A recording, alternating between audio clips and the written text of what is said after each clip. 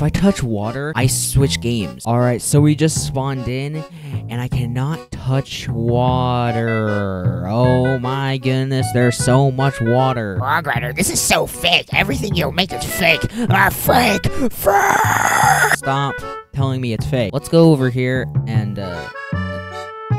Wait a minute. No! Alright, so we are now playing Subnautica, and I know there is not any water in this game. Like, come on, guys. How much water do you think is in this game? Oh my goodness gracious. What the heck, dude? Why is that exploding already, dude? What the heck? Wait a minute. No! Alright, so we are now playing.